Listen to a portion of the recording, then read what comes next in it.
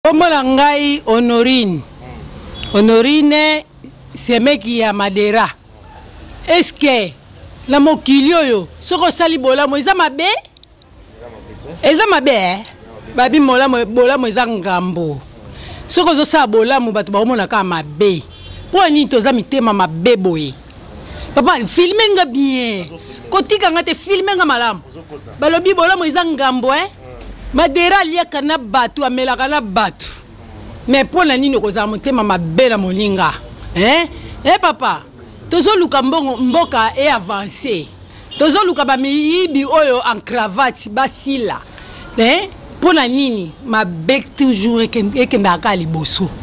tozo koluka mabe esala nini esila alors dans ce cas mama dera ye lelo oyo misala eza te biso tosalaka bilanga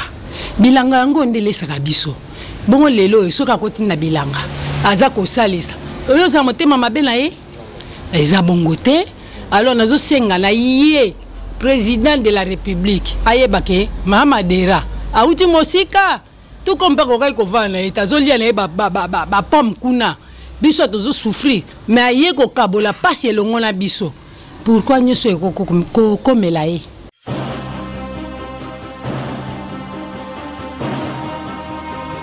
napamboli kaka nzambe eloko wana tokoloba hasard oui eza hasard te parce que biso bana nzambe nzambe asalaka biso siene omoni oyo ekomaki wana parce que tobundalaki mpe déjà avant omoni ezalaki mpenza liwa ah. oyo tokomelaki nzambe azomona bandeko bazoyoka avant trois jours na lota ebongo ah. avant trois jours nalalaki na loti eh, balongoli nga mbango na kiti na ndenge ya kuluna purutu batinga na chaise roulant nga madera na kati ya chaise roulant ça c'est la vérité baleki baza bakokotémoigne ah, na chaise roulant hmm. ah, nakomi na chaise roulant ndene mbamoko nalongisi leki ngabi jo jo jo mpo tolalaka ngai leki nanga mobali nayebisi nabi ah te nakomi na chez roulant batika na chez roulant namoni bato yango baza bingambi mpe baza na kanda makasi hmm. leki na ngabi ah, peut-être kaka les idées ça peut être les idées tobondela kaka bon ye mpe azobundela azokatana katana me ngai nazwaki yango sérieux nabondelaki bon ntango nabondelaki kobondela mpe kaka ya kobondela ozobondela okatanaki obombi lokatene après na 5 heures du matin okoma bamemi nga lokola ebembe moni saki wana ebembe wana babla wana wa eh, anaye komona bamemi nga pro bakati nga neti bakati nga kuna mm. nga na kati vraiment morte mm. nalamu nga bino ça devient sérieuse mm. nalamukaki nabondelaki nabi naleki nga biokokolala bote parce que oyo oh, nazotika awa na se retrouver na hôpital ya kitambo wana eza sérieux nabandaki mpe kobondela nabondeli nabondeli ntongo etani tokendaki komobilize akeko mongabi kino luka basana nzambe baya akenda kobenga paster na biso mobe napesi ye mbote paster zakaris kazwami ya gagnere dame eh, ayaki amobilize bapaster mosusu toye tobondelaki mpenza etancement tobondeli tobondeli tobondeli asala bifo tolanda yango suivi parce que oyo ekomi deux fois boye na mosala tosali na ndenge bakombo ekenda na nde makambo oyo ndenge ezokende boye bongo ye moko deja mokonzi soki bazotungisa ye na bakombo ebele ebele bongo biso soki ekozala nao ndenge nini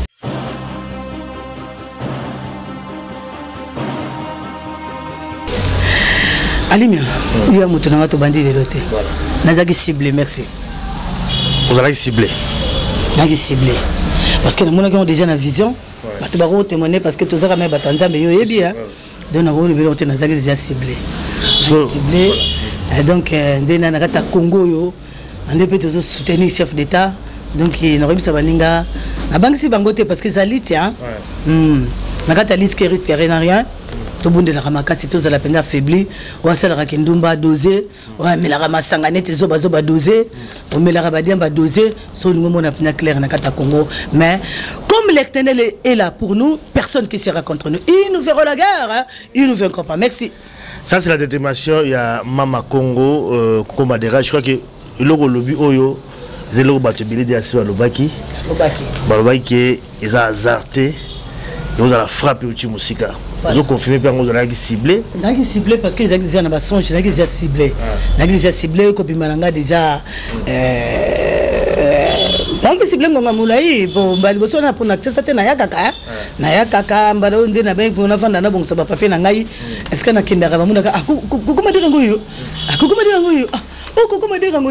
azalaka mokuse boye hmm. anga ah, mpe kaka etanke ma makongo espoir bacombattant hmm. nalekaka lekaka kaka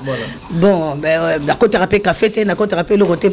baboite te hmm. donc euh, nabi na motamela te mais nalobi ke nazalaka toujours enfermé nauti mosala nauti nini donc euh, ndenge ezalaki mais bakokoka te mpo nzambe asimani na maboko personne a le pouvoir de la ravie ingeta effectivement mais soki ntango olobi ozalaki cible mpo na yo oyebi bato oyo bazali komenase yo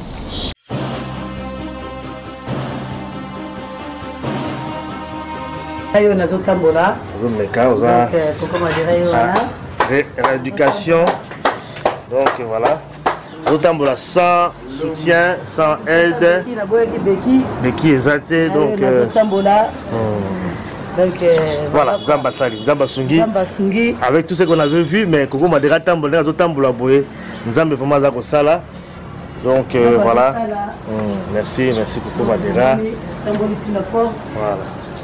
merci beaucoup nazotambola ah, merci beaucoup muke muke nazotambola makasi mingi te muke muke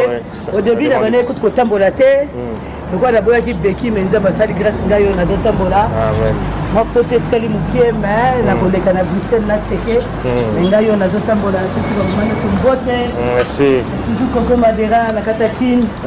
ingeta ingeta on est toujours ensemble ingeta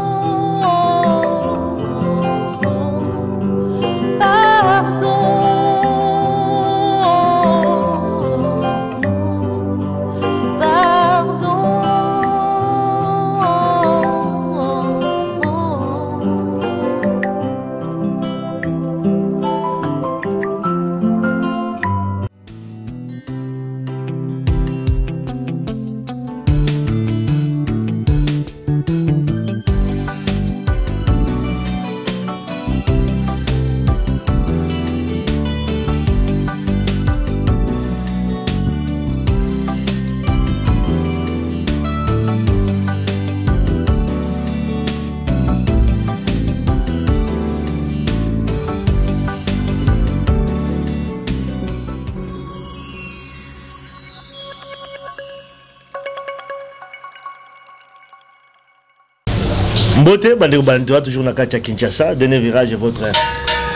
émission na kati ya kinshasa je crois que ezali ingaki ezala pratiquement impossible kenda koma kinshasa nakutana sere koko madera te sere na biso koko madera boyebi oyo ekomelaki ye accident monene azwaki awa na ndako baimage oyo ecirculaki na bareseau sociaux echokaki monde entier soki na bato mosusu baza komona ye boye baondima te estce eza kaka koko madera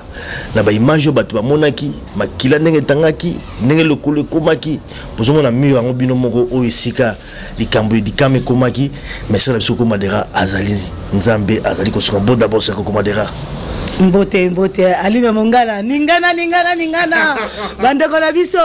baye ah. bandeko na biso baye mm. mbote mingi antuka mbote esengo mingi kokutana na papa na biso alimia awa mm. ah, toza na kati ya rdc donc eh, ngai naza mobundeli mboka molobeli na bino toloba ete makambo ya kongo tokotika te ntina ti mais lokola mpe tozwi pouvoir tokomisi kaka nzambe topamboli bino nyonso naza vivante mm. nzambe asali ngolu mm. donc omoni na bandeko na ngai balandaka na ngai bandeko na ngai balingaka ngai mm. napamboli bino napesi bino mbote mingi en tout cas la lutte continue merci La lutte continue avec euh, Sir Coucou Madera, mais peut-être que vous avez la moitié au Komelaki. Je crois que vous avez la moitié eu des spéculations par rapport à nyonso elekaki voilà koko madera baye kobete masasi na ndako koko madera euh, ezali peut-être parce que afingaki mama akofi kofi moto asali biloko wana nyonso koko madera ya problème ya politique toyebi koko madera aza kosoutenir président de la république faci bamosusu vraiment eza règlement de compte bamosusu bamona eza yango simple accident parce que na baexplication oyo bato balandaki ezali yango kaka accident eza na moto moko soki mpe amelaki masaka soki mpe nini abandi ya kotutatuta partout nzela aza koleka ti aye kotuta na mur awa mais c'est quand même curieux, curieux quand même écoute na kaka kokoma dega azaka pembe na mi wana et puis ezokisi lokolo ndenge ezokisaki mais expliquez d'abord biso kokoma dega qu'est-ce qui s'est passé sur peut-être moi rapidement ta une minute hein? c'est vrai que ça fait passe et ça passe mais comme c'est une émission pour la première fois tout dans la carte Kinshasa euh mais kape kozongela biso mwa mokene eloko likame koyelaki yo napamboli kaka nzambe eloko wana tokoloba hasard oui eza hasard te parce que biso bana nzambe nzambe asalaka biso siene omoni oyo ekomaki wana parce que tobundalaki mpe déjà avant omoni ezalaki mpenza liwa ah. oyo tokomelaki nzambe azomona bandeko bazoyoka avant trois jours naloti ye bongo ah. avant trois jours nalalaki naloti eh, balongoli ngambo yango na kiti na ndenge ya kuluna purutu batinga na chaise roulant nga madera na kati ya chaise roulant ça c'est la vérité baleki baza bakokotémoigne ah, na chaise roulant hmm. ah mais comme na chaise roulant ndene mbamoko nalongisi leki ngabi jo jo jo mpo tolalaka nga leki nanga mobali nayebisi nabi ah te nakomi na chez roulant batika chez roulant namoni bato yango baza bingambi mpe baza na kanda makasi hmm. leki na ngabi ah, peut-être kaka les idées hein, ça peut être les idées tobondela kaka bon ye mpe azobundela azokatana katana me ngai nazwaki yango sérieux nabondelaki bon ntango nabondelaki kobondela mpe kaka ya kobondela ozobondela okatanaki obombi lokatene après na 5 heure du matin okoma bamemi nga lokola ebembe moni saki wana ebembe wana bamaka wana wa eh, naye komona bamemi nga pro bakati nga neti bakati nga kuna mm. nga nakati vraiment morte mm. nalamu nga bino ça devient sérieuse mm. nalamukaki nabondelaki naleki nga biko kolala boye te parce que oyo oh, nazoti awa nakose retrouve na hôpital ya kitambo wana eza sérieux nabandaki mpe kobondela nabondeli nabondeli ntongo etani tokendaki komobilize ake komongabi kino luka basana nzambe baya akenda kobenga pasteur na biso mobe napesi ye mbote pasteur zacharis kazwami ya gagnere dame eh, ayaki amobilize bapasteur mosusu toye tobondelaki mpenza etancement mm. tobondeli tobondeli tobondeli asala bifo tolanda yango suivi parce que oyo ekomi deux fois boye na mosala tosali na ndenge bakombo ekenda na ndenge makambo ndenge ezokende boye bongo ye moko deja mokonzi soki bazotungisa ye na bakombo ebele ebele bongo biso soki ekozala nao ndenge nini fo tozala vraiment fermi na yesu mpo avec yesu toza na succès toza na réussite etc tobondeli euh, tokomi mpe deuxième jour tobandaki kaka kobondela sikoyo le ntongo paster azwa sikoyo programme mpo tokende mpenza bien na bacombat spirituel ebe eh wana ekomi deuxième jour troisième jour ekomi navandi na ndako na bato ya mosala nde tondosala parce que eza chantier euh, nalambi mpe fumbwa nalambeli bato ya mosala fumbwa ntango nasisi ko ngabi ngai moko naolambela bino oyebi kaka ndenge navandaka eh, ngabi ngai moko naolamba fumbwa yango mm. nalambi fumbwa yango mpe esili nayebisi ko ngabi bon mpo ngai to bato ya mosala baosala nalingaka bamela te napoka bakomela na bango nalambi fumbwa lokola bazala mpe mosala te boke nosala mwa soin tolia ensemble babi ah mare ya basilisi ntango bango bake natikala kaka na leki mm. esali ndenge wana sikoyo leki ake kotika appareil moko boye ya montambu ya montambu mm. babe yango cpi ekangaka bampuku eh, nani mm. ekangaka bampuku ya mibimba mm. leki ntango ake kotika yango siko akanga ye porte bien te ndenge akanga ye porte bien te siko bato nde baoleka porte esala pumpu namonaki bato bazotala bazoba azoleka kongo eh, bato batalakamutambo yake nakozwamosepeyi mutambo yango yango ya banda sukula bilamba esika wana aleki agunzamaki mm. mm. abanda kosukula bilamba na bino kamata mutambo kena otya na nsima mpe kanga mpe mampuku mutambo yango yango sikoyo ntango eh, ye akei kaka 2 minutes boye ngai sikoyo nde nake na pousse porte portail ntango na pousse portail namoni ke makolo na ngai ezwi mwa poussière nde sikoyo nakende na robinet vite fait nake nasali kaka mwa ndenge ezalaka kaka alime e eh. mbu yango sikoyo nazwi kutu temps ya kotala te nazwi kutu ndamoni mbu na comprendre te neti kaka filme ntango natelemi na baluka boye mbu mosusu na se retrouve na se mire nazokoka ata kolela te nazokoka koganga te na comprendre eloko te mais ntango mire ekwei namoni chauffeur wana azokontinue kaka neti kaka niata aleka kaka niata motu nasi namonaki liwa ah. eh, nkombo na yesu mpe na kati nabengaki boye mpo bima nini okomaki kilo miso ezipamaki nde omoni atelemaki wana yaki bia na miso mpenza kotala te miso esi ezipamaki nayebi so eloko kosala te soki akangamaki peut-être ndenge esalamani wana moto ebomanaki elingi oza peut-être bana quartier nde bayaki ebele wana banga batombola mwa moke natombola mwa makolo mais namoni moto azoya kaka namonaki afo na se défendre donc ye azocontinue kaka chauffeur azocontinue koya mire ekwei porte ekwei ebloke ye mais ye sikoyo asaka effort amata kaka sikoyo koma pusa sikoyo mire na portail oyo ya bavoisin ah. akotaki parle akotaki boye te sikoyo ngai ntango naboni mona motu nanga na bia tozalaka na bamatch eh, nani course moko babengaka baparis eh, dakar omoni bajipo nde soto anga bia ah, nasi nakufi siko to nakufi siko disa naza na se nazomona boye donc ngai sikoyo nazoluka nabima ntongo nazoluka nabima ntongo azobima wana na misuni ezokatana katana mipende ezotoboka toboka donc euh, esalaki mpasi alima ntango bana quartier sikoyo ye mpe sikoyo bazobete sikoyo ntango ye asalaki ati ok oh, chauffeur wana deja utene na kitambo na nzela ya kitambo omoni bato bakitaka boye na descente ya kitambo baza na bordure hmm. sikoyo ye azotutatuta sikoyo bawewa ya kitambo awa ekoma soki aksida esalami fo wewa alanda yo aya baona mpe wewa akokatisa katisa parceke eza nango kaka mboka moko hmm. eh, talaka bavatire ezalaka ebele na nzela bouchon bawewa siko moto bakolanda bawewa ya kitambo balandi ye ntango akomi na virage wana akutani ntina bawewa wana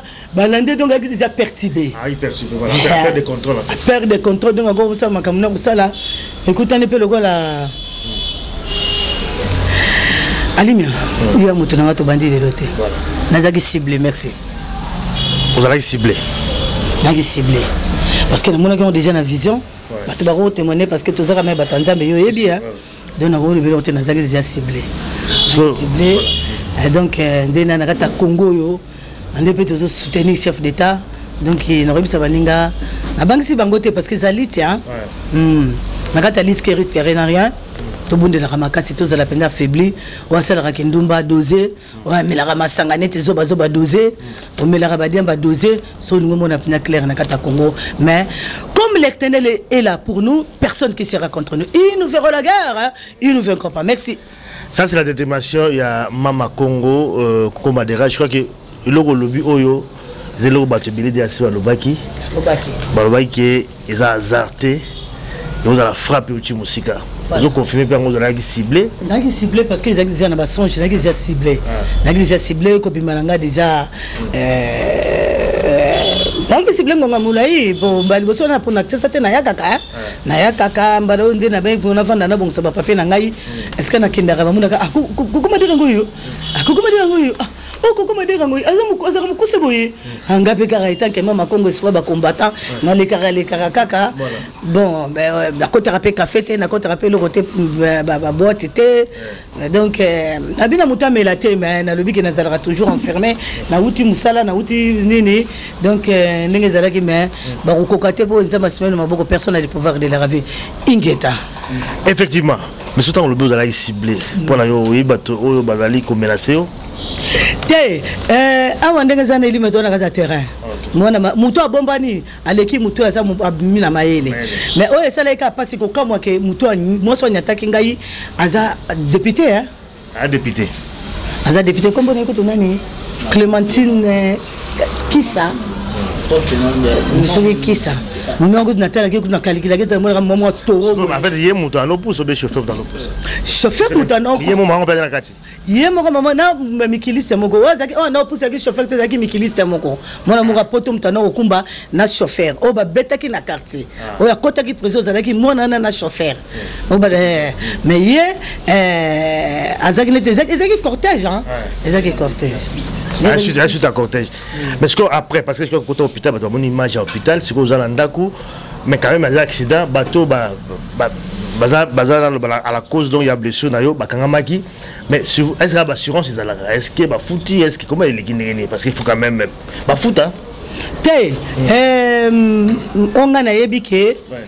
madame yango ntango makambo esalami au début ayaki au début ntango nakangi awa ah, eza hôpital to na kati ya congo na kati ya congo ata ezali dipoto te hmm. na kati ya congo soki okomi na hôpital olingi olinga to kobimisa mbongo na yo sikoyo ntango namonaki baza eh, naza nini nazali eh, diaspora ntango nakomi na hôpital balobi bon ye akomi bato bazinga bakotinga na sa dope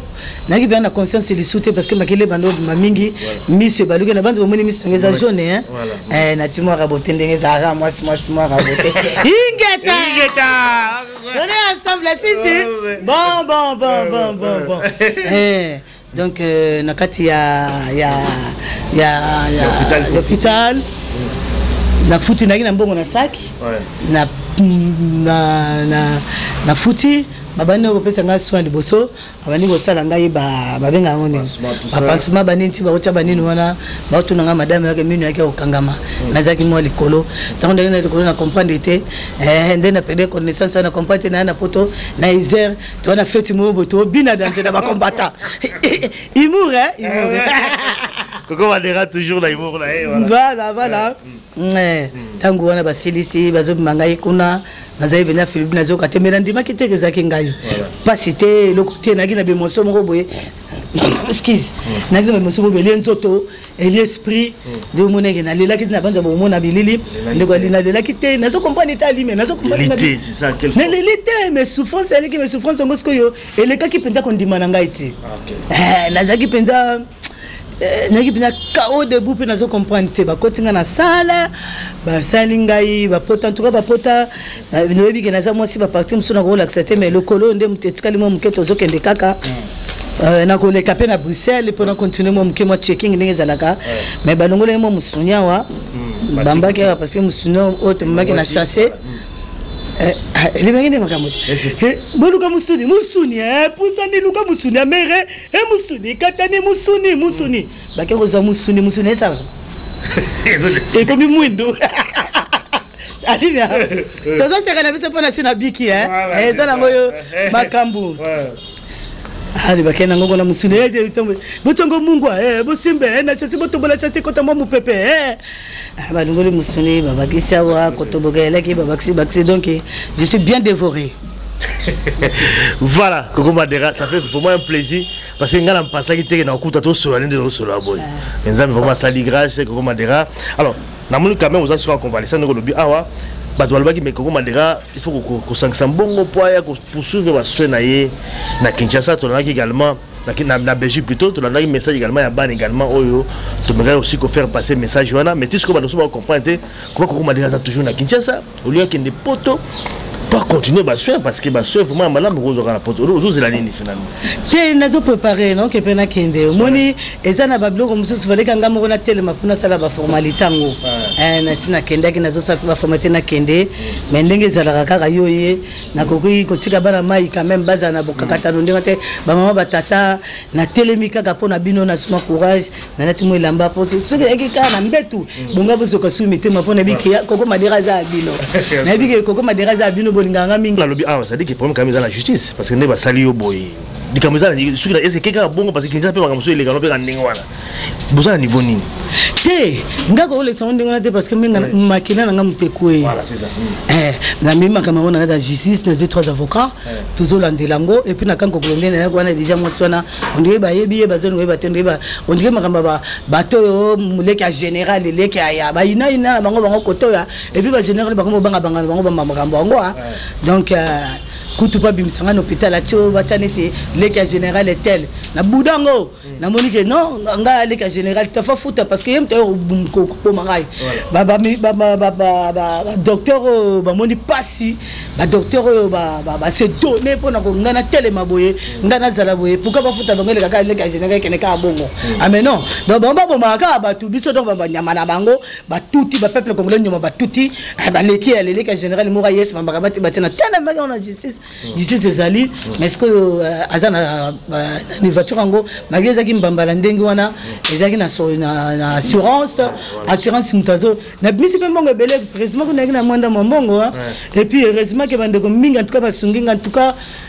coup de chapeau na bandeko batisi nga maboko on est toujours ensemble koko madera mpe akabolaka mm. na bino mm. aliaka na bato ya mpasi aliaka na bato na bisengo koko madera azalaka na bakonzi koko madera azalaka na petit peuple koko madera atambolaka na garde du midi azalaka na boyebi boyebi koma bopesa nga seruta donc je suis toujours seruta donc nzambe aleka na kopambo vraiment euh, je pleure mm. malgré nasalaki accident nalelaki te mm. mais likambo oyo nde elelisi ngai maboko bandeko nanga badiaspora batiaki alimi ya neti na filme C'est vraiment avec beaucoup d'émotion. Coco Madera, où nous avons retrouvé, elle convalescente, effectivement. Elle se préparer pour poursuivre les soins appropriés. na poto na belgique ndenge auti ko koloba awa mais koko madera oza aussi na fondation hein, bato bazomona en image fondation koko madera fondation eza ya nini te fondation na ngai yali euh, awa biso tolobaki tobundaki bitumba toye mosala eza na kati na congo mpona koede peuple congolais hmm. liboso na ngai na banza nde euh, alima kosala ngolu akopesa image omona bandeko baye awa baza juste mpona sécurité ya fondation donc na kati ya fondation na biso ezali toujours travailler na kati ya bilanga mpe kopesa peuple congolais mai ya kitoko donc selo toujours ambela chef de l'état donc euh, nga naza wana je travaille moi je suis du bandal nazo travaille na bagombe te nazo travaille na nsango mpe peuple oyo nde baza bauti na vraiment nsango naza na kati ya nsango naza na kati ya lemba imbu eh, naza na kati ya eh, masina naza na kati ya njili donc omona bango yemba nseke donc ngai nao travaille toujours avec tous ces jeunes là ah, mama mbakana donc nazo travaille kuna naza na bacellule posé na yo mwana 3000 membres et puis euh, tozo travaille kuna mpona kosala bilanga nalobaki ngai navanda na poto suis grandi là-bas j'ai fait mes enfants là-bas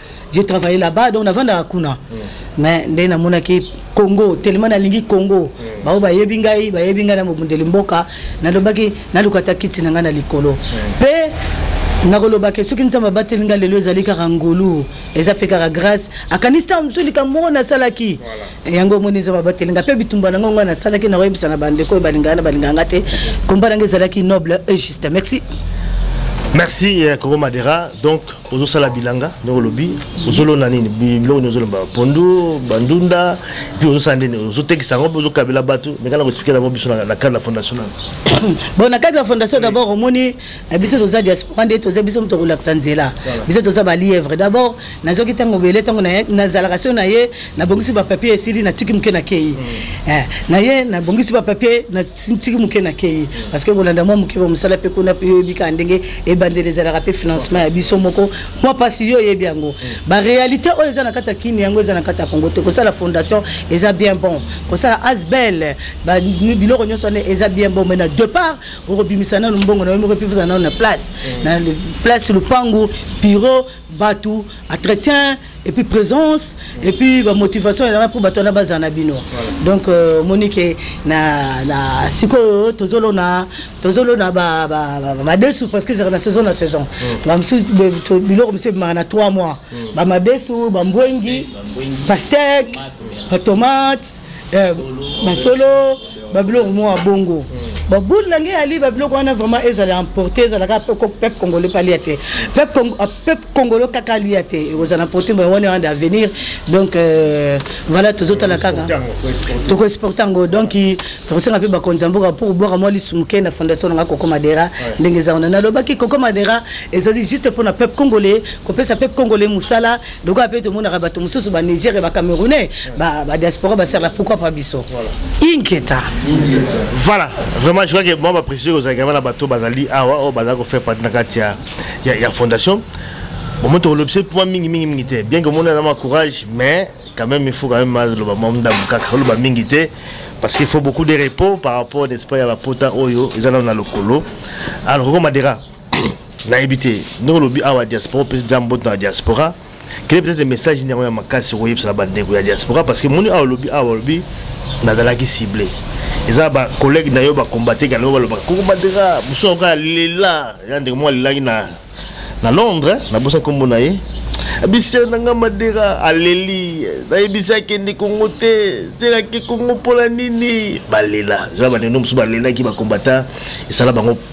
pasi na niveau ya vraiment ya kosakana te ntango bamonaka donc oyo ekomelaki yo bakombata tout esalaki bango pasi bamosusu baza kolinga mpe kozonga mboka te yo ozongi mpona kosoutenir président de la république eh? ta likama oyo ekomeli omoni topekisaki soki ayokaki biso ayingakaki azwa likama oyo te me mpo na baoyo baza kohésite kozonga mpo na baoyo peut-être bazolinga mpe baya okoyebisa bango nini estce baya kaka nayebi te kokomadera oloba nini ayembe na pemi na meliso ye nakoloba bango baya te nakoloba bongo te nakoloba kaka boya hmm. parce que congo eza na besoin na biso pepe congolais akufi hmm. telema nzala mingi mosala ezali te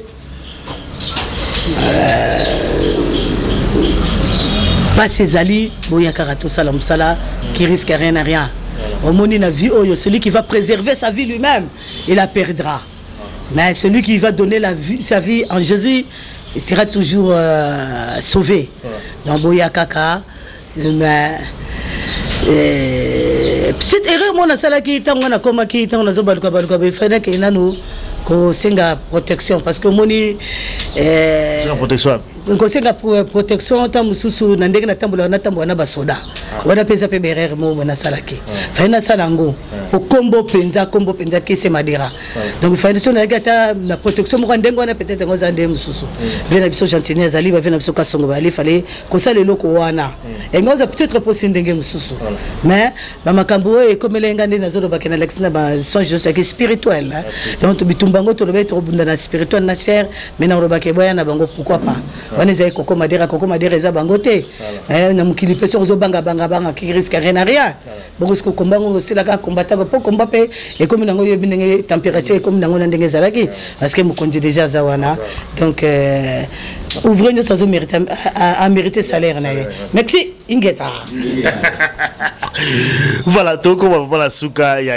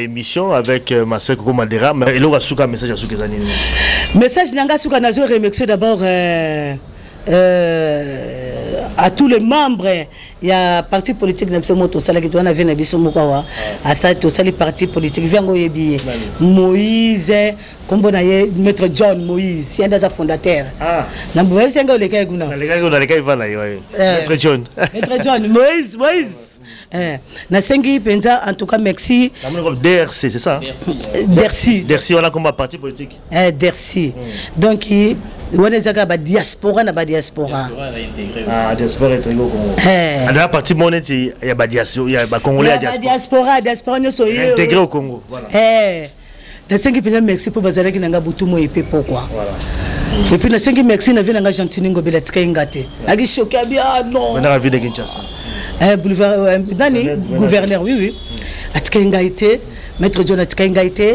euh, pacho panda atikaki ngai te président na biso toyaki na ye likasi atikaki ngai te bamama charlotte mama charlotte azali azali mama oyo mwasi avie na biso euh, euh, moïse mm. maître john atikaki ngai te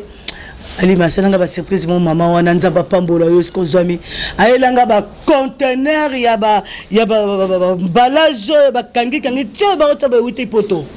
euti epoto euti epa mama bijou mama bijou azwi atindi ko euti epoto donc hmm.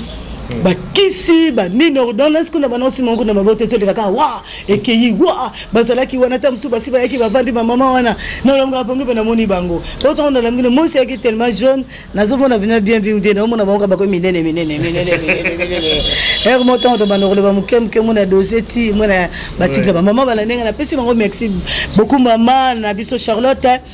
napesi mpe bandeko na ngai mosusu mbote merci mpe baoyo bazoki ama mikamera balele ye mpo na ngai mpo poto mpenza namoni nayebi eteke bolingaka ngai ota ndenge wana bino baa mabe bobombaki eh? balingaki nakufa nano ah! nazwi bino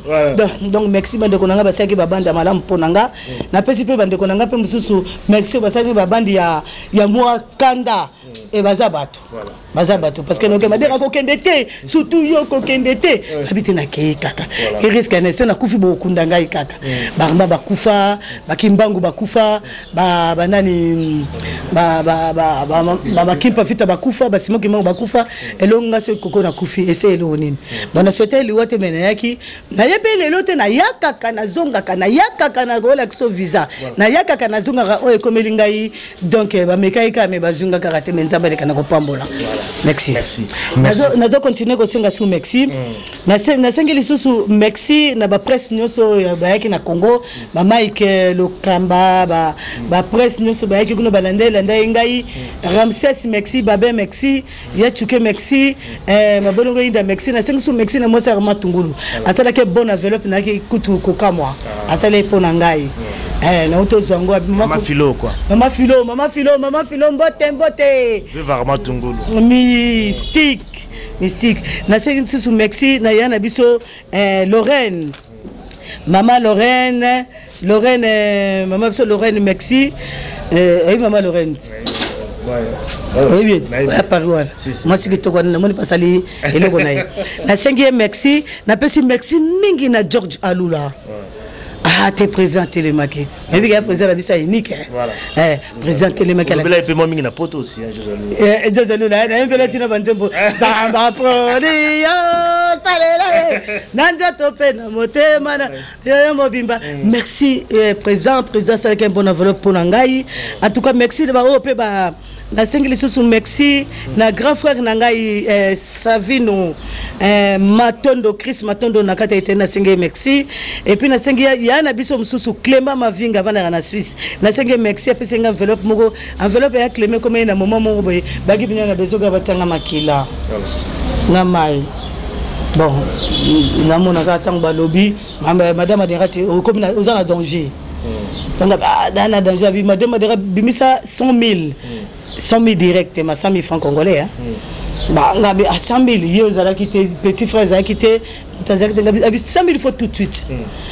ah mbala mona mona kaka koko koko koko bakopesa nga enveloppe moko boye bango nalingo 100 000 mpe napesi na bia ah, vie asauve hmm. azobana kutu petit nanga koko madera yo oza leki nanga pourkoi ozanga bamexi boye merci wana ezalaki mpenza na motuya euti mpenza na droit de cœur mm. eza lokola mwasi oyo bakosenga mabonza napesi kaka yesu santime wana babaki eutaki na motema mai nalobi te ke bamosusu wana ezalaki na ndenge elongi non basui ngai mm. napesi fe na ngai dedo nde bofese maxi kutu tanto akozala awa fala kozola kutu na yo nayebisaki akoya mai mm. ye mpe sante na ye ezalaki mwa bien te mai aute mpe poto ayaki na nasengi maxi nasengi mpe estefani sozeyidio azalaka na hollande mexi aza pasteur mexi nasengi ye mpenza mexi euh, je pense ke nabosani te oui napesi mexi na ah. na biso basekela ya kisi eyali ah. mondo osinga eh. ah, napesi mexi na mwana ngai chimene matondo en tout cas mexi beaucoup napesi mwana ngai naomi mbote mpe merci beaucoup mwana ngai richi batikaki ngai te abidias botonga batikaki ngai te tatiana abana na ngai batikaki ngai te christian matondo batikaki ngai te antuka merci na toute la famille ya elle batikaki ngai te bazalaki na ngai ne vous inquiétez de rien maman arrive maman se porte bien je sais que vous pleurez tout le temps vous voulez voir votre maman mpo nasali presque un an obanda nayaki donc euh, c'était pour le bien-être toujours euh, euh, ya peuple congolais bino moyebi bitumba na ngai nabundaki donc bobanga te mama bientôt va arriver je serai avec vous je vous aime tous au nom du seigneur jésus christ de nazareth donc nasengi merci mpenza na bavie na ngai merci mpenza na bato nyonso bapesi nalobi te ke soki opesi ngai te Eh, nde omemi lisumu te soki olingi opesa ngai opesi ngai kaka nakosengo kaka merci na baoyo oh, bazokanisa deja bapesa neti baya gabi bazokanisa kopesa ngai bokanisa te ke eh, nabosani bino ah, to bokoki kolemba bokoka bokontinue kopesa mpo ngai mpe napesaka ekoyelaka kaka moto ezwaka kaka moto ezwaka ebende te merci merci merci on est toujours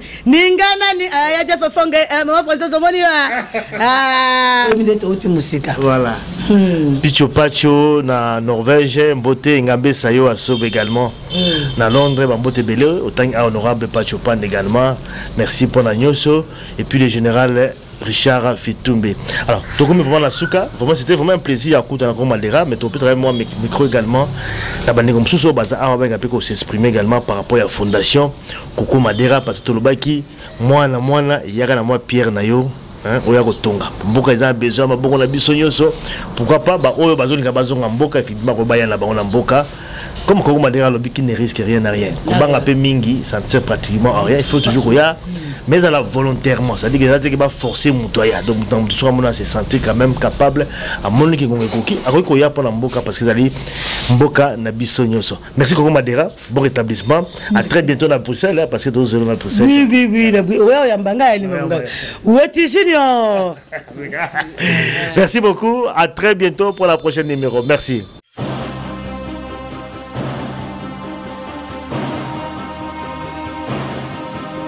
Ok, merci beaucoup. Moi, c'est Don Songanissa. Azali sécurité na kati ya CAF Congo. CAF oyo eza coordonné par ya mama Madera Coco. Yango tobengi Fondation Madera Coco CAF. Cap cela veut dire culture, art, femme et eau.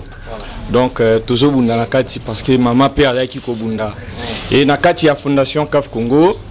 ezali ko incarner 3000 personnes au maman pesi déjà misala. À partir ya district ya Tiango, so komi na Tiango yebi Madera te bien lobi mabe ya Madera obima te. Parce que Tiango nde simbi Congo presque Kinshasa aussi je peux dire en particulier Kinshasa pardon.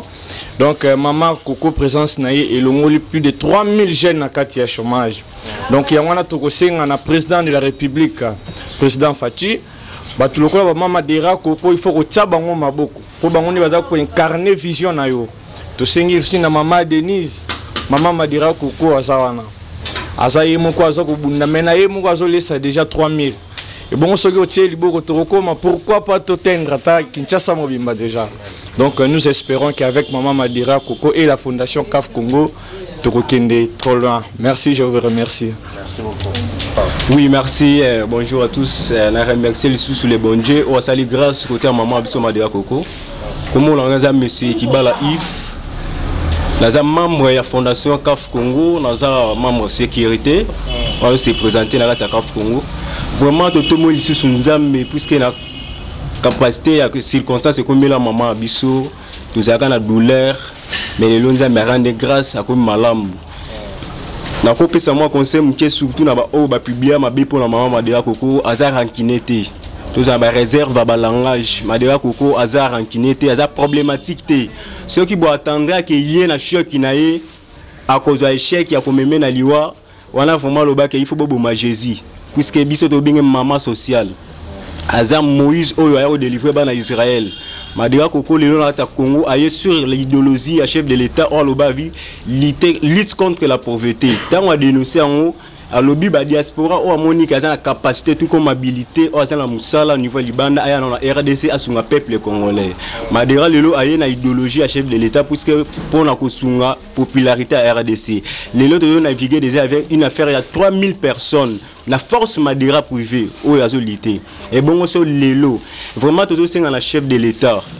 disposer motema no puisque olobi agriculture yango nde eza premier objectif na kati ya rdc alors soutenir madera koko puisque adispose mpe motema na volonté na ye propre mpo na agriculture et pourquoi pas mama denise vraiment oza mpe mama sociale sunga lisusu mama madera ensemble na bino vraiment tosala baexploit toza wana bien dispo disponible mpo na bino tosungana lisusu mama madera tokotika ye te yango tolobi topesi lisusu nzambe merci na badimasi oyo madera koka komi vraiment merci ngai nkombo na ngai jo mike timansemi nazali chargé de mission na kati ya caf congo caf congo elingi kolakisa culture art euh, femme et eau tozotravaille sur l'eau tozwa bamai oyo ezali mai ezali salite mai ya rivière mai eza na banini tozotransforme yango na eau potable tozotravaille na bamilieu ezali milieu reculé milieu régie des eaux azali te parce que rôle ya association ezali kopesa gouvernement maboko kokóma esika euh, gouvernement akomi te mpo na kosala mosala mpo na kosoutenir bapeuple oyo bazali démunis alors tozo travailler sur l'eau tozo travailler sur l'agriculture tozo travailler mpo na koaide badésœuvre babano baza badésœuvre tozosunga tozotravaille mpe donc biso toyali ong d donc ong de développement donc toyali ong simple te mais ong de développement yango nde toza na kati ya kafongo topesi nzambe merci na ndenge asungi